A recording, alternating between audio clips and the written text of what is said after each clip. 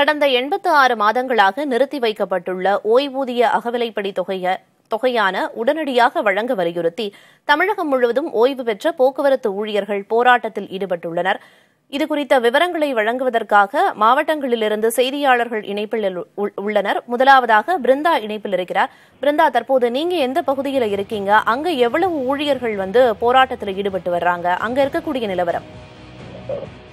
பிரியதர்ஷினி கடந்த ஏழு ஆண்டுகளாக பஞ்சப்படி உயர்வு போக்குவரத்து ஊழியர்களுக்கு நிறுத்தப்பட்டுள்ளதாகவும் அதனை அரசு உடனடியாக வழங்க வேண்டும் என வலியுறுத்தியும் கடந்த முப்பது மாதங்களாக பணியில் இறந்த சிறப்பு சிறப்பு ஓய்வு பெற்ற பணி ஓய்வு பெற்ற தொழிலாளர்களின் வழங்கப்படாமல் உள்ள ஓய்வு கால பண பலன் தொகைகளை உடனடியாக தமிழக அரசு வழங்க நடவடிக்கை எடுக்க வேண்டும் என வலியுறுத்தி திருச்சி மாவட்ட ஆட்சியர் அலுவலகம் எதிரில் இருக்கக்கூடிய தமிழ்நாடு அரசு போக்குவரத்து கழக திருச்சி மண்டல அலுவலகம் வந்து தமிழ்நாடு அரசு போக்குவரத்து கழக ஓய்வு பெற்றோர் நல சங்கத்தை சார்ந்தவர்கள் மற்றும் தற்போது பணியில் இருக்கக்கூடிய தமிழ்நாடு அரசு போக்குவரத்து கழக ஊழியர் சங்கத்தை சார்ந்த சிஐடியு தொழிற்சங்கத்தினர் என இவரு மாதுளைய வளர்த்து வருஷத்துக்கு ஒரு ஏக்கர் இடத்துல பத்து லட்சம் சம்பாதிக்கிறாரு.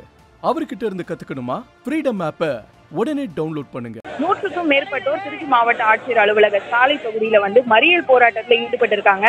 தமிழக அரசு தங்களுடைய கோரிக்கைகளை உடனடியாக நிறைவேற்ற வேண்டும் என்றும் நிலுவையில் உள்ள பல பண பலன்களை ஓய்வு பெற்ற ஊழியர்களுக்கு கிடைக்க வழிவகை செய்ய வேண்டும் என வலியுறுத்தியும் திருச்சி மண்டல போக்குவரத்து கழக அலுவலகம் முன்பாக தமிழ்நாடு அரசு போக்குவரத்து கழக ஓய்வு பெற்றோர் நலச்சங்கத்தினர் மறியல் போராட்டத்தில் ஈடுபட்டிருக்காங்க.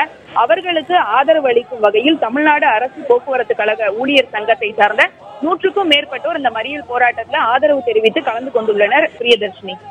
பிருந்தா நீங்க இணைப்பிலேயே இருங்க. தொடர்ந்து நெல்லை விவரங்களை வழங்குவதற்காக செய்தியாளர் நாகராஜ் இணைப்பில் இருக்கிறார்.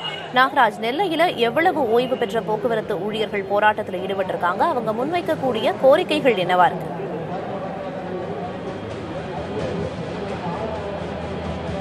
நம்ம இருக்கக்கூடிய நெல்லை வண்ணாரப்பேட்டை பகுதி அதாவது இங்கே தான் போக்குவரத்து அரசு விரைவு போக்குவரத்து கழகம் போக்குவரத்து கழகத்துக்கான டிப்போ இருக்கிறது அந்த டிப்போக்கு முன்பாக மாவட்ட டிப்போக்களின் தலைமையகத்தின் முன்பாக தான் அந்த போராட்டம் நடத்துவதாக தெரிவித்திருந்தார்கள். அதன்படி இங்கு ஒரு ஐநூறுக்கும் மேற்பட்ட கிட்டத்தட்ட ஒரு ஆயிரம் பேருக்கு மேல் ஓய்வு ஓய்வு பெற்ற போக்குவரத்து கழக ஊழியர்கள் இருக்கிறார்கள். இவர்கள் ஆண்கள் பெண்கள் என வயதானவர்கள் தான் அதிகம் வந்திருக்கிறார்கள்.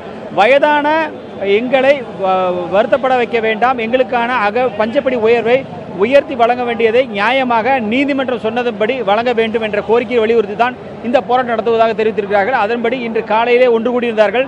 பதினோரு மணிக்கு சாலை மறியல் போராட்டம் நடத்திருப்பதாக தெரிவித்திருக்கார்கள் அதற்கு முன்பாக ஒரு போராட்டத்தை முன்னெடுத்திருக்கிறார்கள். இந்த கோஷங்களை எழுப்பி போராட்டம் நடந்த பிறகு அவர்கள் அந்த சாலை மறியல் போராட்டத்தை முன்னெடுக்கிறதாக தெரிவித்திருக்காங்க இங்கு வந்திருக்கிற அனைவருமே ஓய் ஓய்வூதியம் பெறக்கூடியவர்கள். இரண்டாயிரத்தி பதினாலில் பெற்ற ஓய்வூதியம் தான் இரண்டாயிரத்தி பதினாறில் உயர்த்தப்பட வேண்டியது. ஆனால் இன்று வரை உயர்த்தப்படவில்லை. அந்த இரண்டாயிரத்தி பதினாறு ஜனவரி முதல் தற்போது வரை போராடி வருகிறோம். இதற்கான தீர்வு என்பது எட்டப்படவில்லை. நீதிமன்றம் உத்தரவிட்ட பிறகும் மேல்முறையீடு செய்தார்களே தவிர எங்களுக்கான நியாயமான இழப்பீடு தரப்படவில்லை. தமிழக முதல்வர் பதவியேற்ற நூறு நாட்களில் எங்களுக்கான விடை கிடைக்கும் என்று சொன்னார். ஆனால் அறுநூறு நாட்கள் தாண்டியும் இன்று வரை போக்குவரத்து கழக ஊழியர்களுக்கான பஞ்சப்படி என்பது வழங்கப்படவில்லை என்ற கோரிக்கையில் வலியுறுத்தி தான் இன்றைய போராட்டத்தை முன்னெடுத்து வருகிறார்கள். இந்த போராட்டத்தில் ஈடுபட்டிருக்கக்கூடிய மக்களிடமே இது குறித்து கேட்கலாம். ஐயா இப்போ நீங்கள் எங்கேருந்து வந்திருக்கீங்க? என்ன மாதிரியான பிரச்சனைகளை சந்திக்கிங்க இந்த பஞ்சப்படி உயர்வு உயர்த்தாதனால? என் பேர் பெருமாள் பிள்ளை. நான் ரிட்டையர்ட் ஆகி பத்து வருஷம் ஆச்சுது.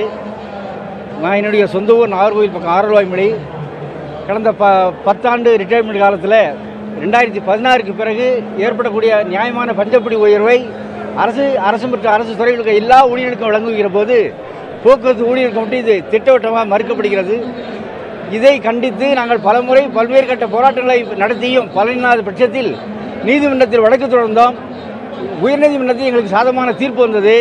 கடந்த அதிமுக ஆட்சி காலத்தில் அந்த தீர்ப்பை அமல்படுத்தாமல் கிடப்பில் போடவே அதை எதிர்த்து நீதிமன்ற அவமதிப்பு வழக்கு தொடர்ந்தோம். அந்த வழக்கிலும் எங்களுக்கு கடந்த நான்கு மாதங்களுக்கு முன்பாக எங்களுக்கு சாதகமான தீர்ப்பு வழங்கப்பட்டது. நவம்பர் மாத ஓய்வூதியத்தில் இருந்த அகப்படி உயர்வை அமல்படுத்த வேண்டும். நவம்பர் இருபத்தைந்தாம் தேதி அமுல்படுத்திய விதம் பற்றி அறிக்கை தாக்கல் செய்யப்பட வேண்டும் என்று நீதிமன்றம் தீர்ப்பளித்தது.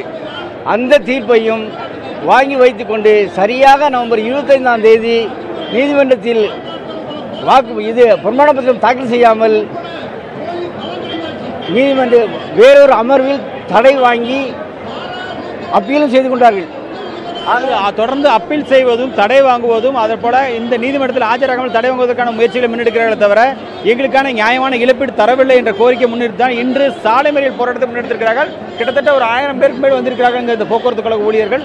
எனவே இவர்களின் போராட்டம் தமிழக அரசு தெரிய வேண்டும் என்பதற்காகத்தான் மாநிலம் முழுக்க இருக்கக்கூடிய மாவட்ட போக்குவரத்து கழக தலைமையகங்கள் முன்பாக நடத்தி வருகிறார்கள்.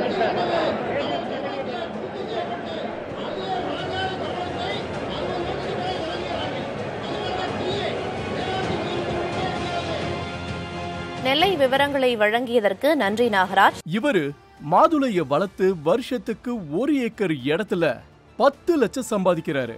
அவர்கிட்ட இருந்து கத்துக்கணுமா? ஃப்ரீடம் ஆப்பை உடனே டவுன்லோட் பண்ணுங்க.